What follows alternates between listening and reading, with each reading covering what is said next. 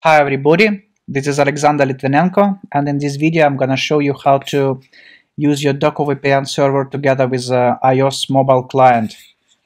Uh, in this tutorial I assume that you're already familiar with uh, running your Docker VPN server uh, on your machine, on your VPS or uh, hardware server. So if you're not then I would recommend you to watch my other video where I explain how to bootstrap your Docker VPN server uh, in detail. Uh, but in this tutorial, I assume that you are already familiar with this procedure, so um, uh, we're gonna continue uh, with uh, part concerning only uh, using mobile client with Docker VPN server. So first of all, let's connect to our remote server via SSH. I'm gonna connect to my API, uh, so my API server, my API host, which I don't use at this moment for any particular purpose, uh, but I definitely plan to do so in the future.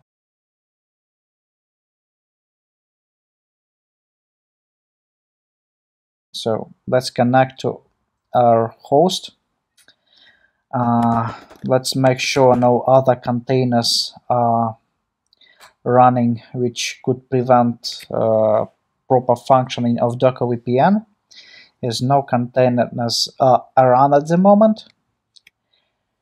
So uh, let's run our uh, Docker VPN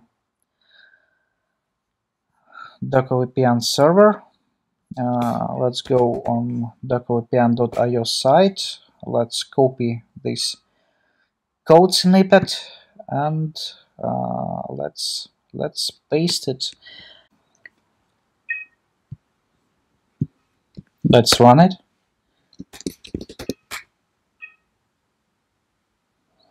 So our, our server started successfully and now we're going to move on to the next part in which we're going, in which I'm going to show you how to use uh, the generated client certificate on your mobile device with Passepartout mobile VPN client. So we're going to proceed with Passepartout mobile VPN client and the very first thing we're going to do, uh, we're going to install it. So let's go to mobile app store and install it straight from there.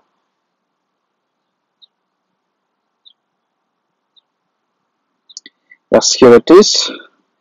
I have had already previously installed it, so now I'm just gonna click on this cloud button with the uh, down arrow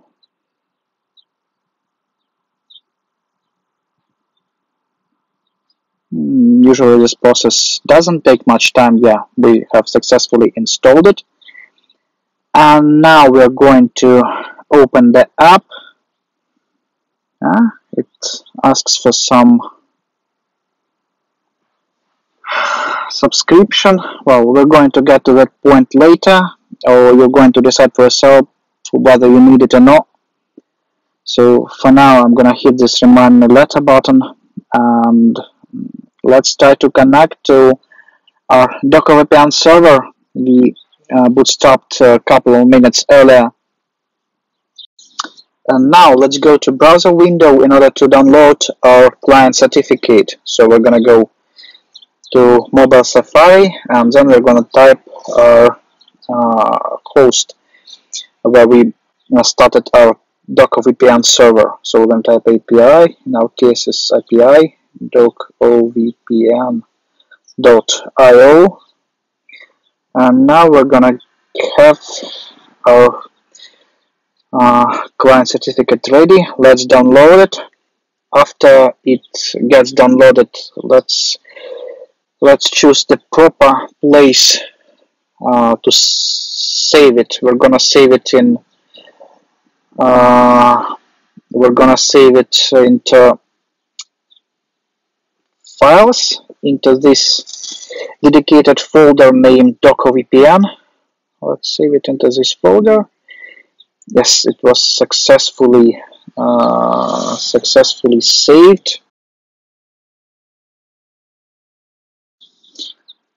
so now let's uh, input our client certificate for that we're gonna press this add new host button uh, then we're gonna hit this folder icon and uh, here is our uh, client certificate. Uh, in our case it is client 7.vpn let's try to import it.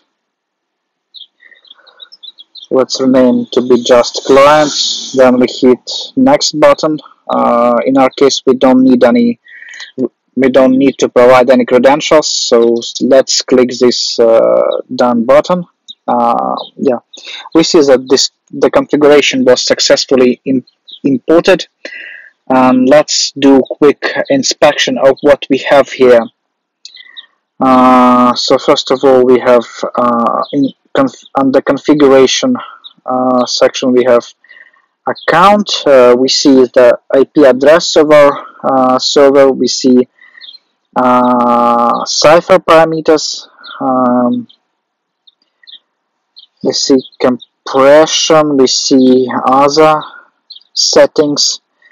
So let's try to uh, enable a VPN on uh, this iOS device. Let's hit this uh, enabled switch and you'll see this prompt asking whether you like to import VPN configuration on uh, this mobile device. We are going to allow this operation to take place and, and we will have to type password. Uh, we see that the connection uh, started and yeah, now uh, VPN connection was successfully established to our server. And now we can finally browse the internet safely. That was it for this tutorial. Um, please subscribe to my YouTube channel and bye bye for now.